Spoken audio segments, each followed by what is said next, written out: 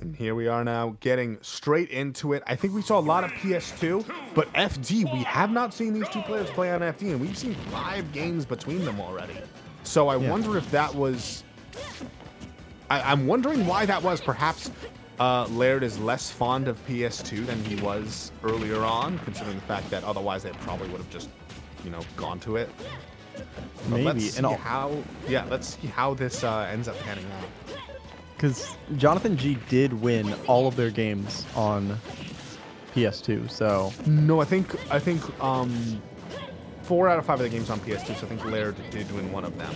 no, Laird won. Uh, no, no, no. I'm saying all of the games that Jonathan G won were on PS2. Oh, yes.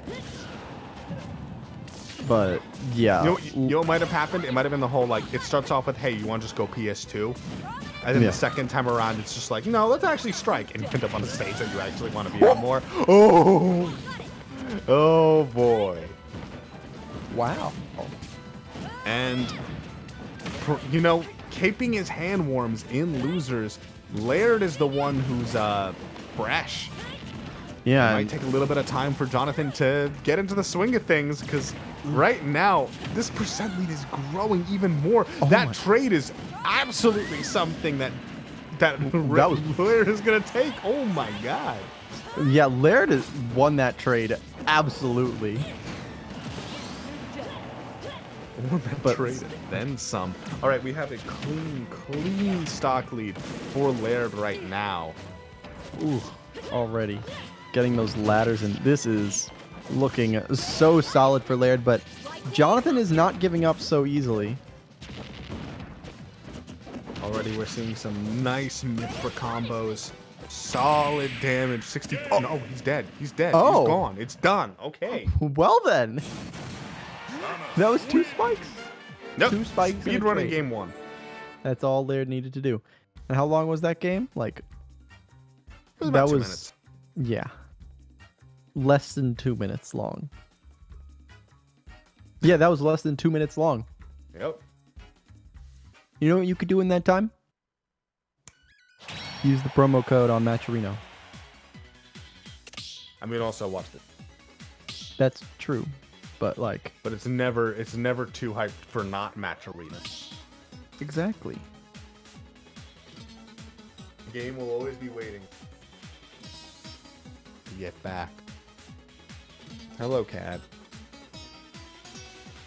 Cat. Here for meowing. Hmm. You will soon, I'm sure. Anyway, so moving into this game two, I think that a big part of that was, you know, pace was set by that first stock that Laird took. And, you know, maybe, maybe it's the fact that he's been playing against a gutsy, gutsy Falcon for the last three games, but it feels like he's braver than he was the first time these two played. Definitely.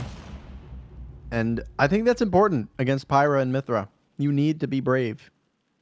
Because sometimes there's times where you need to just go in to stop something before it happens. Or sometimes there's just when you when your opportunity is there, you know. Mm-hmm. Then again, be careful because if you take if if you're not good at gauging when your actual opportunity is, you might take a really early like huge amount of damage. Or if you're up against a pirate, you might just die at 50. Yeah.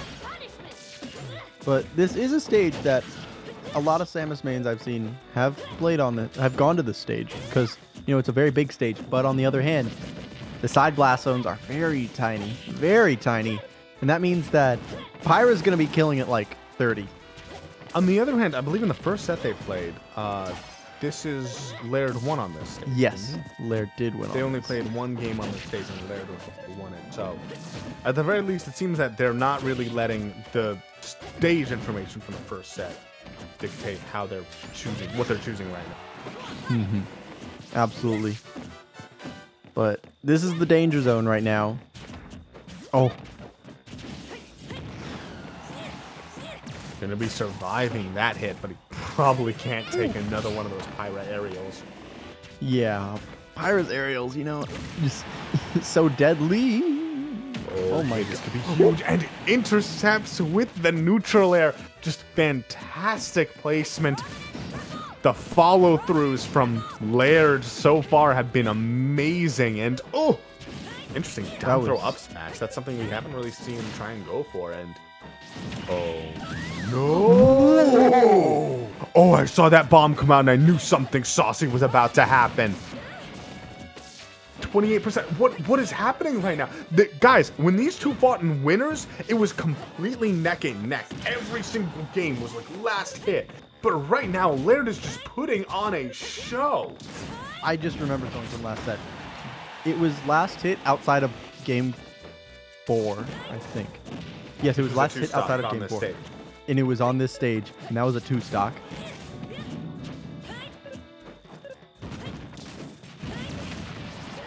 Oh my just getting more and more damage. 85%. He's yet to lose his first stock.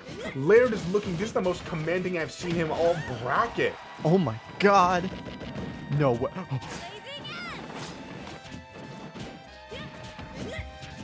Laird, no way. Are... Okay, okay, okay, okay. Back to normal now. All right, but oh, that dash attack almost does it. We're so, and that's to do it. Yep, that single back air. That's 2-0. Laird um, really, really looking strong right now. Now, okay, it is worth noting, it is worth noting that both of those games, Laird did take the first stock and also had like a disgusting edge guard. Um, yes. And I mean, those are those two things. I mean, I will say there's definitely a trend going if he's if every game he's taking the first stock and also getting a disgusting edge guard, but there's no guarantee about it. And I'm as we move into game three, if Jonathan, you know, at the beginning he was super even. He even had a big lead for a while there. Mm-hmm. If he's able to capitalize on an early lead and able to take the first stock, I wonder if Laird is going to be able to repeat that same performance. when I see that clip of the, the when I see that clip of Laird spiking after the bomb, I just That all character swap. Completely 180 character swap. We're having Rob versus Samus. And still going the same stage though. So maybe some confidence that Rob will be able to do the job here on town. Oh. Oh no. Quick Ooh, question. Uh, is Jonathan the same person as Joshathan? I have no clue. Oh, they are in fact the same person. Okay, so nor- we have seen. I mean, we have seen Joshathan play his uh, his Pyra a lot, but also the character that I've seen personally with, with most results from has been uh, his Rob. So going back to Oh. at least one of his old faithfuls, that might be the necessary adjustment, especially because Laird is not prepared for this. Probably, you know, he's just been playing. A, he's played how many? Seven games against the Pyra Mythra.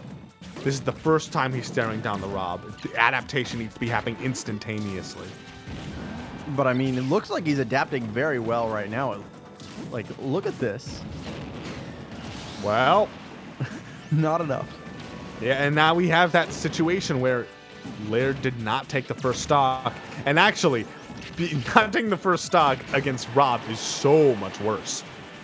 He's- Um, he cleans it up though. A star KO. Wow. Surprise Laird didn't like charge up the charge shot there though. Oh wait, was it fully charged?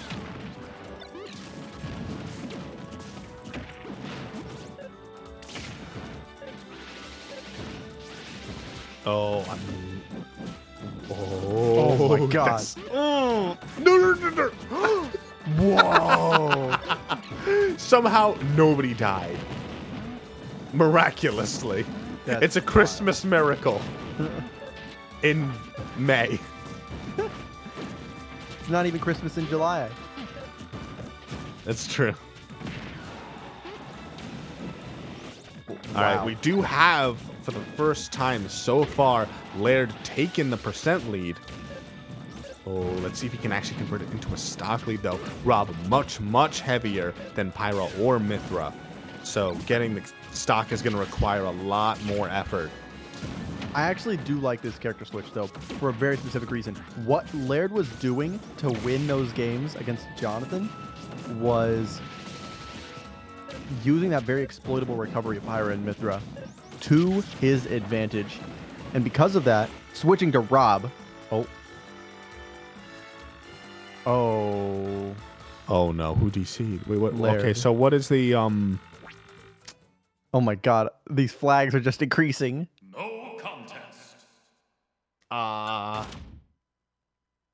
what is the process? Run me through the uh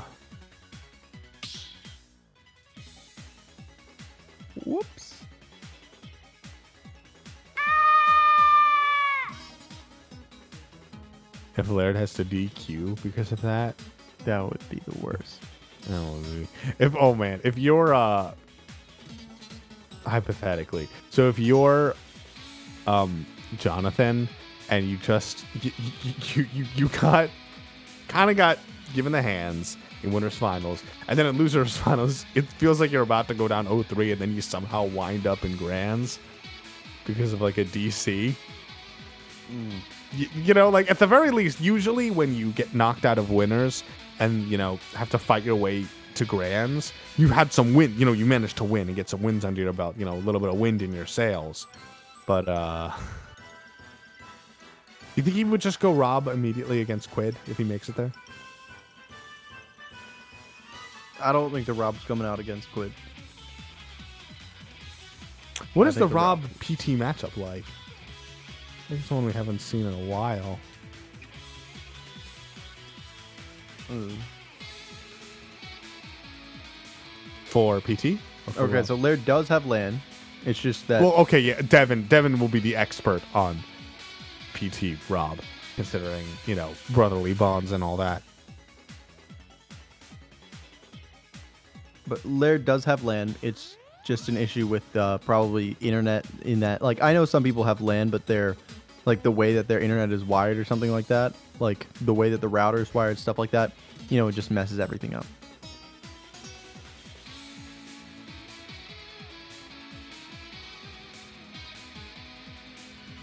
Oh, Okay.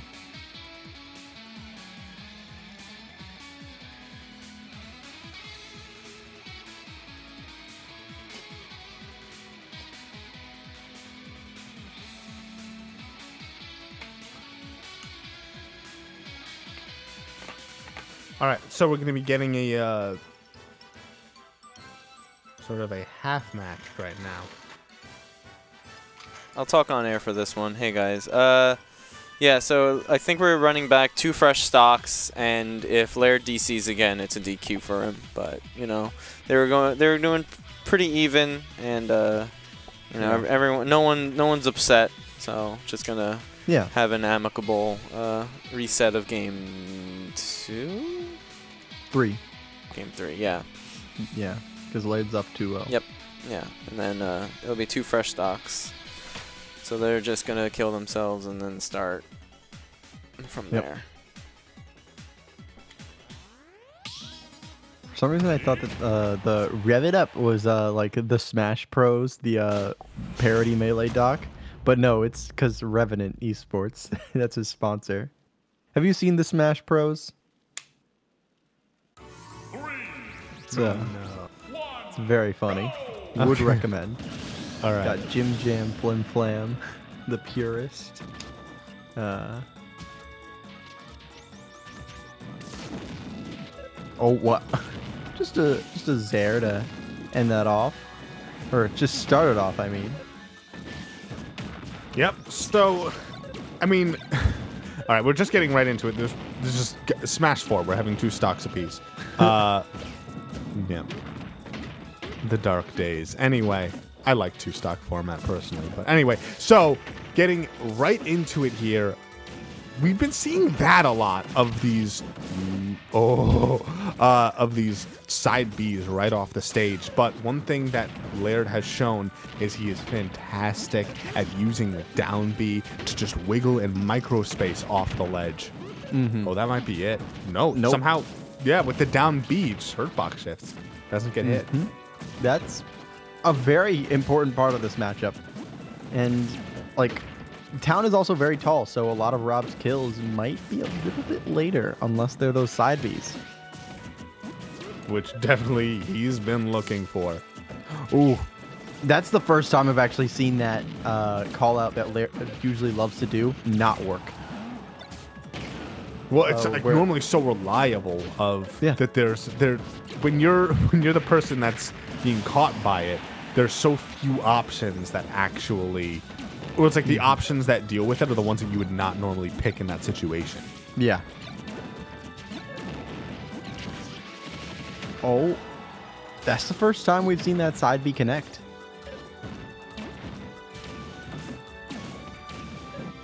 Oh. And that's a fully charged charge shot there. Oh. And it connects. Oh and that's a God. huge connection. 71% onto Laird is not great, but he's living. He has a chance to possibly turn this around, although it feels like Jonathan has finally started to uh, understand what he needs to be doing in the matchup. Yeah, 103%, even greater right now. Oh, falls out of it. bomb saved him.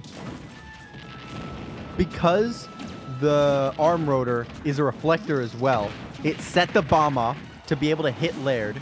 And because it hit Laird, it saved him.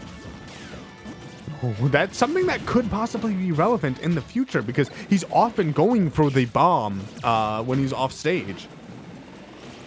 Or it might be extremely relevant because it kept him alive when he should be dead right now. He is absolutely still fighting tooth and nail, not just giving Jonathan this last stock of his, but 160 trapped in the corner. The gyro, is that going to be enough? It, in fact, is. There we have it. That's with a game on the board. Jonathan, uh, now the score here is 1 2.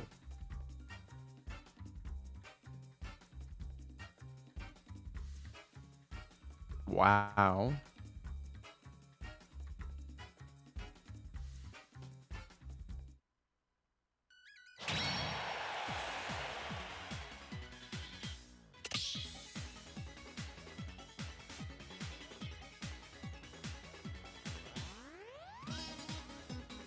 All right, so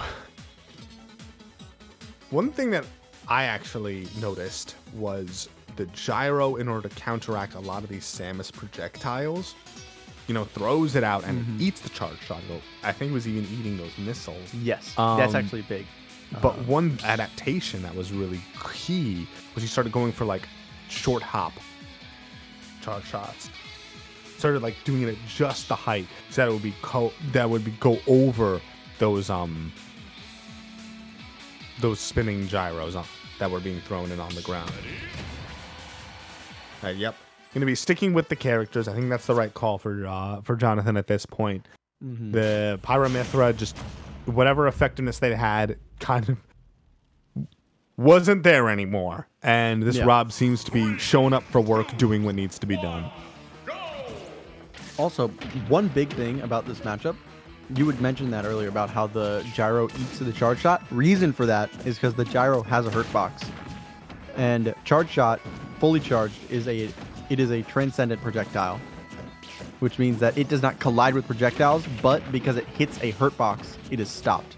Very few projectiles in this game have that property. I think Link's bombs are another one. Mhm. Yes, the bombs, the Lloyd rockets, stuff Now, like that. when that gyro gets launched back, it doesn't have a hitbox, right? I think it does have a hitbox all the time. It will. It will not hurt Rob though, right? I don't quite remember. No, it just got knocked back by the. Yeah, he just knocked it back with this, so it didn't have it of a hitbox. Okay. Yeah. Um, but anyway, oh, this these two are actually neck and neck in percent at this moment. Grabs the gyro, and one thing actually I'm reminding of. Oh, super super deep for that one. But that was worth it to go that deep, especially because Oh, Rob can make it back. Rob can with with has gas in the tank, he's good to go. Mm-hmm. And he is running on diesel. Oh, there's the Laird Classic right there.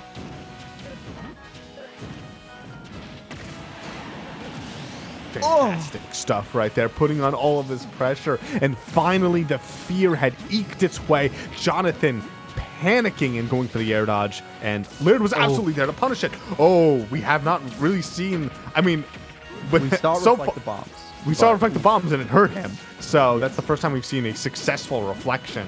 And even if that didn't necessarily get him that much, that was a lot of damage. Mm-hmm. 82% now on Laird. He has to worry about getting put off stage and hit by another side B. Yet he also has to find an opening somehow. Oh, The jitters there making him go for an uppie out of shield, and he might get punished for that.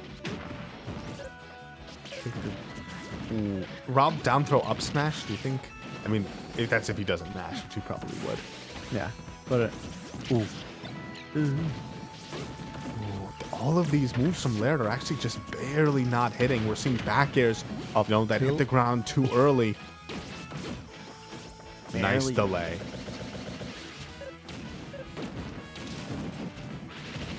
oh, oh my god!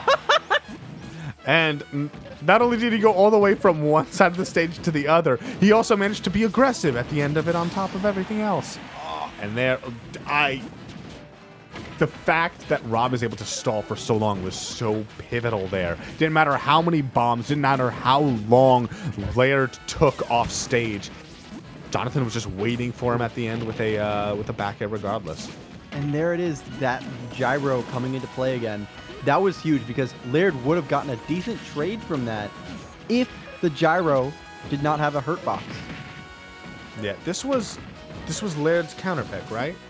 Yes, it was. I don't think this stage is working out for him. The bomb, the middle platform has actually been messing with some of his bombs, and I mean, I think overall, honestly it feels like just the layout of the stage has really been benefiting Jonathan. maybe going to just uh, Kalos might have been a better pick, but you never know with Laird. Laird can definitely make comebacks. Oh yeah, for sure. But at the same time, Jonathan, as a with his Rob, when his Rob has a lead, it's it's something that requires a great amount of diligence to overcome. Absolutely. Oh. Ooh. This is looking dangerous for Laird. Oh, How did that not connect? just stayed back as far as possible. But even now, he's still down an entire stock. If he manages to clean up right here, he's at 121%. Oh no. That's and it. No, it oh, just barely living. that was smart. way deep off stage once more. Oh. oh, Jab almost killed. Jab almost killed from across the stage.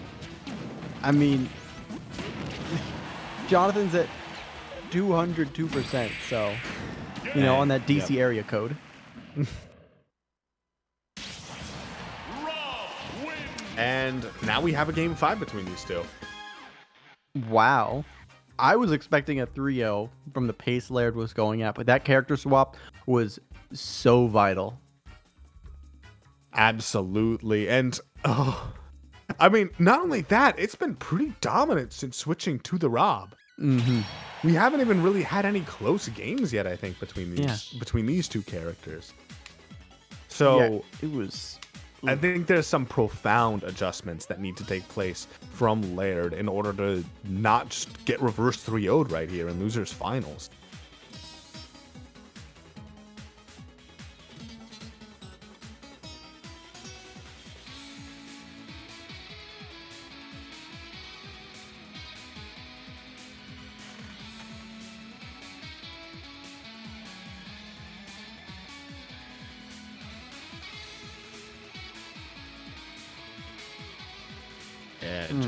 Right into that back air. Rob can just stall for so long.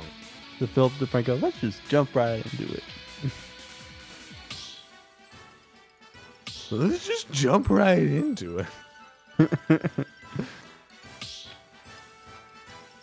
yeah, the micro spacing on that. All right, we've taken some time, and it seems like, yep, we're going to be getting the same characters, but I don't think we're going to see Smashville again. Let's see where Laird ends up taking him for this game five but two. This is big. This will be the final stage pick. Ooh, FD. Okay. FD. I I agree with this. I think this is this is going to be okay. For one thing, the landing um like Samus is a character that can definitely catch landings between. Oh no, are you dead? No, Samus can make it back. Are that. you Nope. dead? Not after two. He's dead. Yeah. He's- he- a Yep. All right. Um, I don't think it mattered which stage he went to. Uh, Yeah. He could have gone to he could have gone to Palutena's temple, and that probably would have that still would have killed him. You know. WarioWare. oh. I miss WarioWare.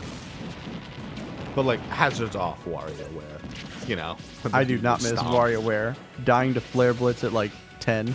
That's, that's hilarious. No, but I'm talking about hazards. Sorry, hazards on. I misspoke. Oh. Hazards on WarioWare. I missed that. one. Ooh. Spicy. Yeah, and um, I apologize for the detour, but I mean that that was just such a absolutely brutal start that the and the fact that Laird has always been on the back foot against this Rob. Even now, okay, well maybe really some nice damage there, but he needs to clean this stock up ASAP. Yeah. Rob is, what, tied for like like 20th heaviest in the game or something like that? Oh, I think he's, he's heavier than that. Like 18th? Uh, Oh, I think he's been like top twelve. I think. I know he's lighter than uh, Terry and Samus, who are at tied for ninth. Uh, so Man, the fact that Terry weighs as much as Samus, and wi- which weighs more than Ridley. which was yeah.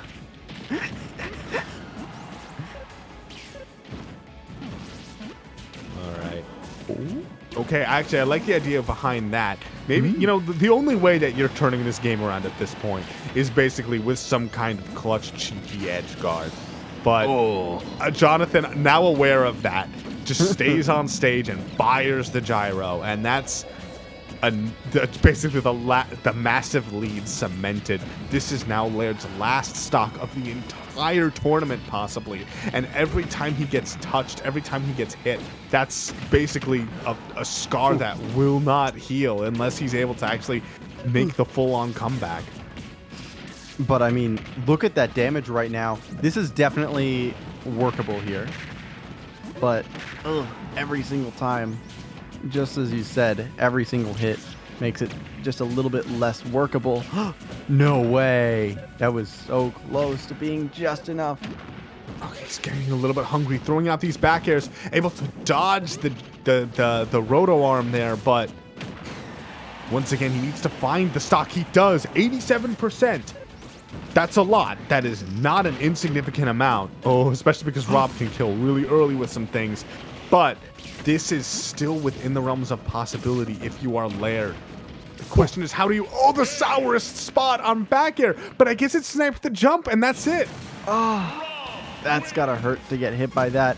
Oh, but Excuse me, Oh. that was a hiccup.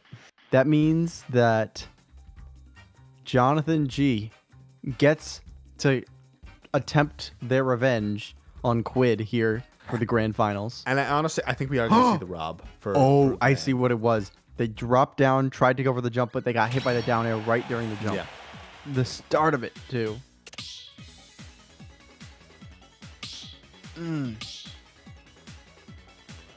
I mean, yeah, it, it was kind of always a big ask to. uh Yep, there it is, little Halo. Halo, halo, halo. Yeah.